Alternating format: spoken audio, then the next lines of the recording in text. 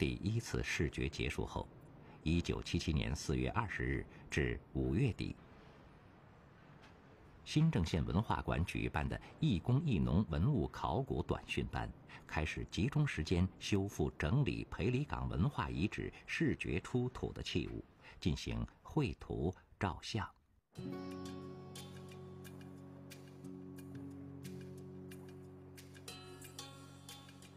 同时，崔庚以开封地区文管会、新郑县文管会的名义，委托赵世刚执笔编写《裴李岗文化遗址视觉简报》。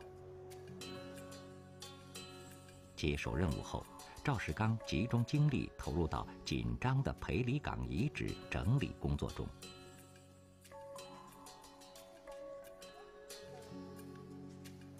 自从接手破解石磨盘秘密的任务之后，赵世刚与同事们都希望以最快的速度把视觉成果公布于众，因为裴李岗的发现太重要了，他为寻找仰韶文化的渊源提供了不可多得的机会。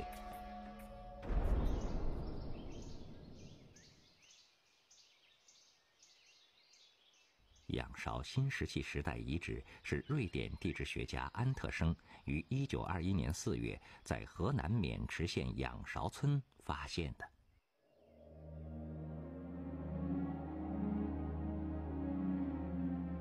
在此之前，很多西方学者都认为中国没有属于自己的史前文化，没有自己的石器时代，中国文明起源于西方。并提出，外来信息是中国新石器时代起源的决定因素。而安特生发现了属于新石器时代中期的仰韶文化后，他们又对它的渊源提出质疑，认为仰韶文化早期出现缺环，而甘肃境内的彩陶比河南彩陶发达。可能来自西方，从而得出中国仰韶文化西来说的观点。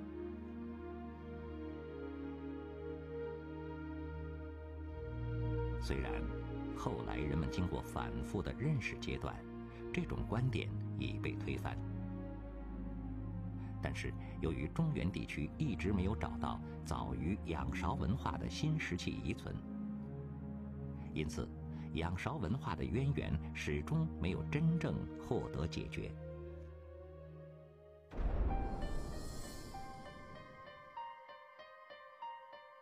赵世刚在编写视觉简报的过程中，首先考虑到的问题就是新郑裴李岗文化遗址的性质问题。根据这次发掘的遗迹遗物看。它们带有明显的时代特征。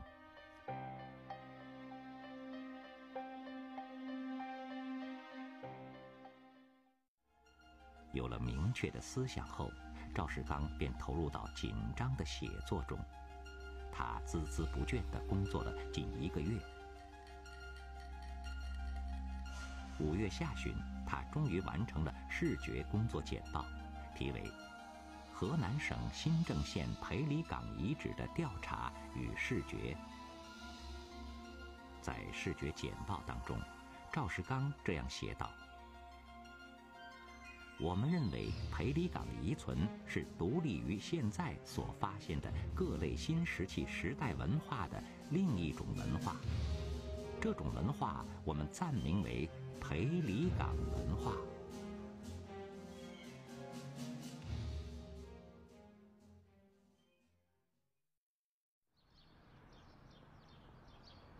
为了使这批文物的真实身份尽快得到确认，也为了使裴李岗这一文化遗址年代得到一个明确的说法，当时的河南省文物局决定迅速将这批文物护送上京，让专家对他们验明正身。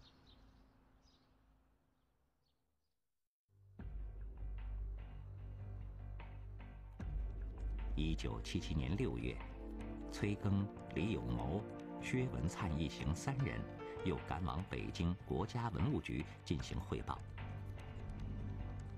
国家文物局给予高度重视，当即介绍他们到中国社会科学院考古研究所进行技术鉴定。在中国社会科学院考古研究所，当新石器室主任安志敏先生看了崔庚他们带来的裴李岗标本和发掘简报后，认为这一情况非常重要。必须马上向夏乃所长汇报。夏乃时任中国社科院考古研究所所长，当时正在主持一个会议。听了安志敏的汇报后，他立刻中断了会议，马上接见了崔庚等人。夏来所长轻易不说话。最后，再说了两句，一句就是“新苗头，很值得重视”，就说了两句。他一说这新苗头很值得重视，我们就感到比较重要啊。他又问：“他说你们发掘当中采集的木炭带来没？”我说：“带来了，带来。”他夏所长立即通知他呢，说的。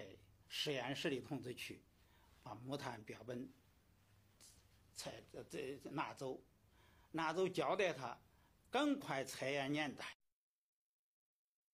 在京期间，他们又拜访了著名的考古专家苏秉琦先生。当这位考古泰斗看完裴李岗遗址的标本后，说出了这样一番话。苏秉琦先生看到我们带的东西一摸，他说：“这东西至少在七千年以前。”真成不愧为是专家了，一看就知道是七千年以前。他说：“这是你咱们中国第一次出土见到这样早期的东西。”他说：“我写信给你们带回去，给你们这个河南省文物局文物处处长，叫他特别重视这个遗址。”要自治发掘。虽然专家们的初步意见令人欣喜，但是裴李岗遗址还需更多的考古发掘来佐证。一九七八年四月十二日，开封新政有关部门和郑州大学历史系考古专业联合进行了第二次发掘。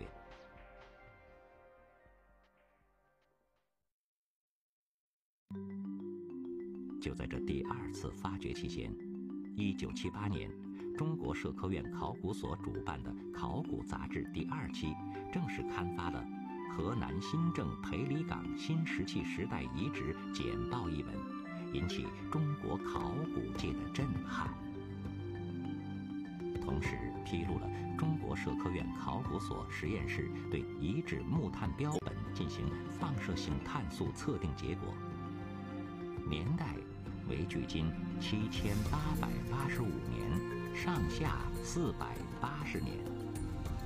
这就证明，裴李岗遗址的确是我国新石器时代早期文化遗存。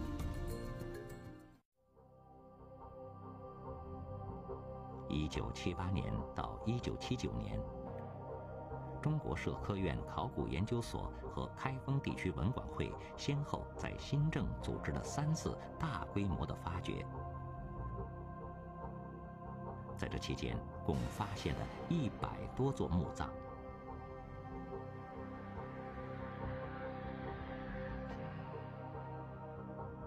其中出土斧、铲、镰、刀等磨制石器一百多件，鼎。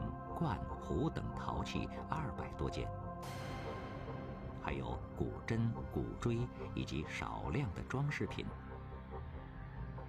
在这里还挖出了猪、羊和其他小动物的遗骨。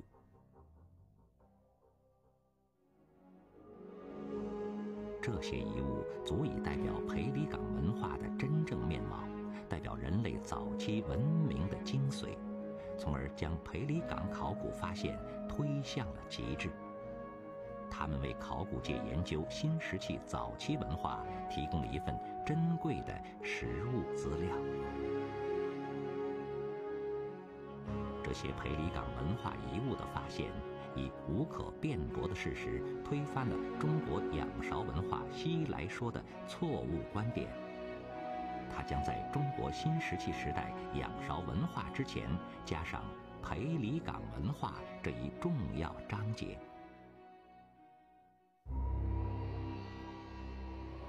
裴李岗遗址作为一种新的文化类型。给人们留下了许多令人匪夷所思的地方，如裴李岗人的生活居止和房基究竟是什么样的？它和仰韶文化中的房屋建筑到底有什么差异呢？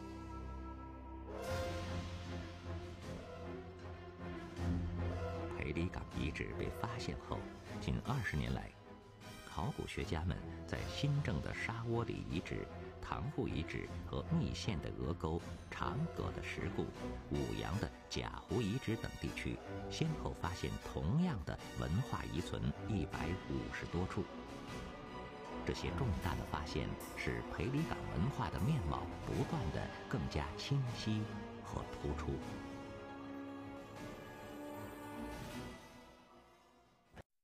那么裴李岗文化呢？从它的整体来看。它的石器虽然经过打制做个外形以后，它很多呢就经过进一步的加工、磨制。那么第二步呢，就是它已经有了陶器，但是它陶器呢火候比较低，这个应当说比仰韶时期那个陶器啊要原始的多，花纹呢纹饰各方面都很简单，所以正好出现了它一个过渡时期。但是恰好填补了这段历史空白。裴李岗文化最终被确定为一种独立的新石器考古学文化，并予以命名。这是中原新石器时代考古上取得的重大突破，它使人们认识到了仰韶文化之前的中国远古文化的独特面貌。今天，我们在新郑市博物馆里就可以领略到裴李岗文化的厚度。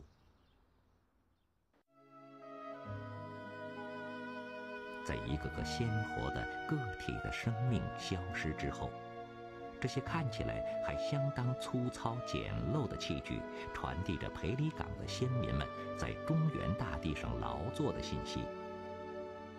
这些坚硬的、无法被岁月吞噬的裴李岗石器、陶器，为寻找中国农业、畜牧业、制陶业的文明起源提供了可贵的线索。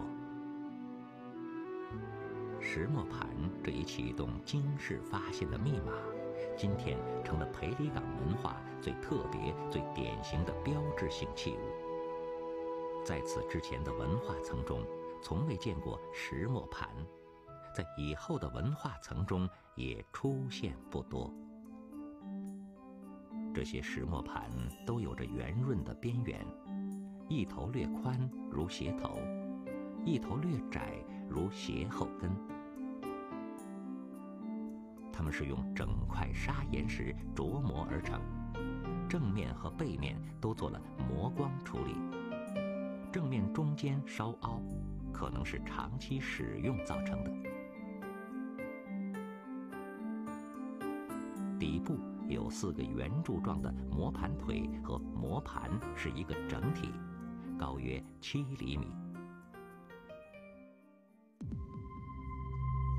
八千年之前，想打磨或雕琢石头，必须用比石头更硬的东西。那时无钢无铁。裴李岗的先人们是用什么加工的呢？这些坚硬的石磨棒又是怎样制造的？凡是来到博物馆的人们，都会不约而同地提出这样的问题：这个石磨盘到底是什么东西？它们是做什么用的呢？为什么要做鞋底状呢？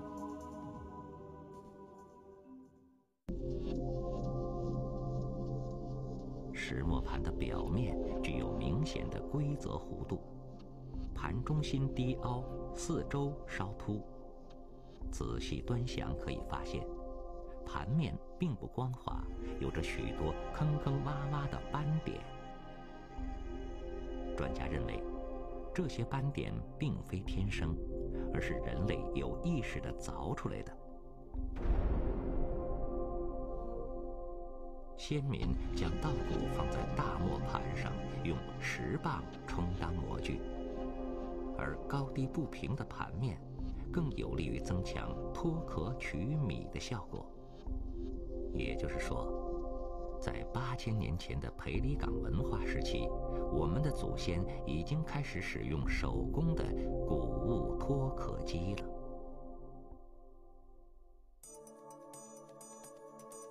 这是一个鸡蛋大小的桃猪头和一只桃羊头，它们憨态可掬，惟妙惟肖，说明先民在八千年前已经会制作陶器，也说明当时家畜饲养业已发展很长时间了。这时的陶器均为手工制作，碗、盆、鼎。钵等日常生活用品的陶器，形状都比较简单，绝大多数没有任何纹饰，制作也显得粗糙，胎壁厚薄不匀，表面也凹凸不平。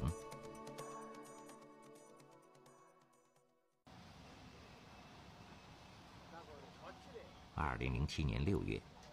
郑州市文物考古研究院配合南水北调工程，在新郑市塘户村进行考古发掘时，又有一个意外的惊喜，终于发现了八千年前裴李岗人居住的房屋基址。是裴李岗文化这个房址，就是居住基址比较集中的一个区域。这个区域呢是总共是。一九七七年。裴李岗遗址出土了大量的石磨盘、石棒以及陶器等，但遗憾的是，在裴李岗地区附近并没有发现同时期的房屋的基址。这次塘户遗址房屋基址的发现，则弥补了这一缺憾。塘户遗址环绕在麦田之中。被一个个探方均匀地等分，探方里遍布着一些大大小小的浅坑，浅坑平面形状多为不规则形，偶有椭圆形。浅坑的周围均匀地分布着一些圆柱形的洞，这些裴李岗时期人类居住的房子，其实都是半地穴式的小窝棚。多是三四个人居住在一起。塘户遗址内发现的可确认的裴李岗文化房址，目前已有四十二座。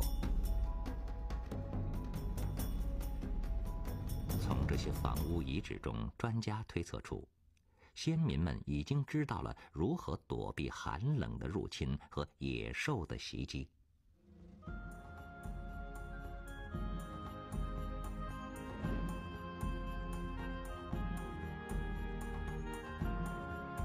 从此，先民们走出了山洞或地穴，形成了古老的氏族村落。他们开始住进自己建造的房屋，冬可避风寒，夏可遮酷暑。这是人类发展史上的一大飞跃。从此以后，人类改变了自己的命运。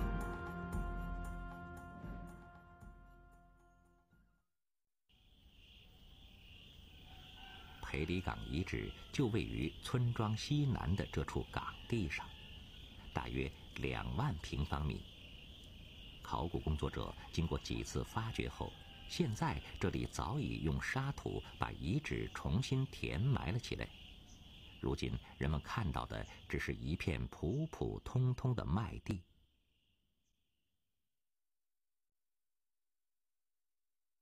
这块遗址的形状像人的鞋底。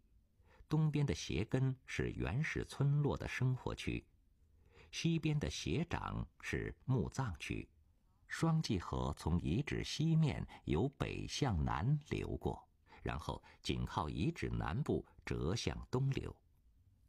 港地就处在这一河湾上。这是新石器早期农业聚落的普通特点，是当时的条件所决定的。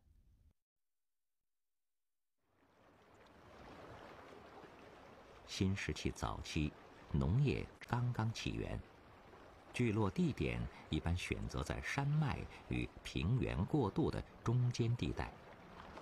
这一带没有茂密的森林，容易开辟田地。这些地方也是从采集向农业种植过渡最适宜的地理环境。当时人类还不知打井取水，所以建立定居点时就自然而然地选择临水而居。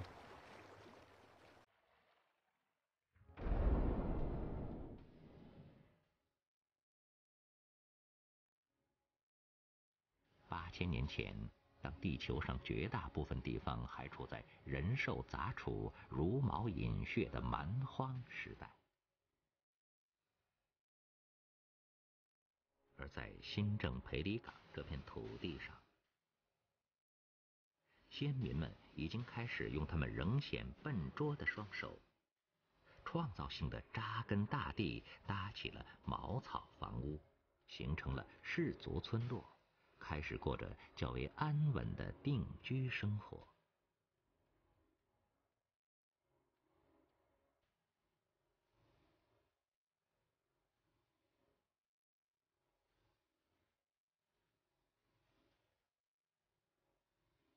原是农业、禽畜饲养业和手工业已经在这里产生了。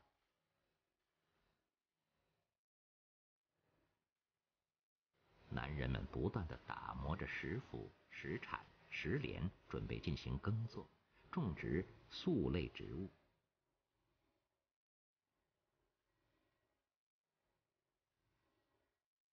而女人们则在半地穴式的房子里，用石磨盘、石磨棒，耐心地碾磨着谷物，加工着粟粮。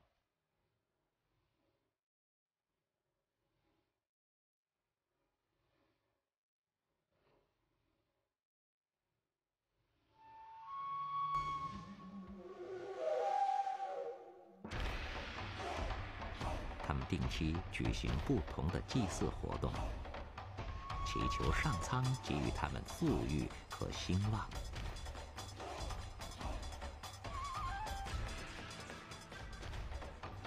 在他们的氏族公共墓地，成年人死了不分男女，一律头南脚北安葬。同时，还根据他们生前的功劳和性别来陪葬不同的生产工具和生活用具。石磨盘上碾出深深的凹痕时，他们的生命也到了尽头。这最亲密的工具变成了他们重要的陪葬品。这就是中原最古老的文明。从这里开始，中国几千年的农耕文化拉开了帷幕。一九七一年末，长沙马王堆突然喷出神秘可燃气体，这就是后来轰动世界的马王堆考古大发现。除了保存完好的大量汉代文物，让人更为惊讶的是，墓室里一具外形完整的女尸。请继续收看二十世纪中国重大考古发现之马王堆大发现。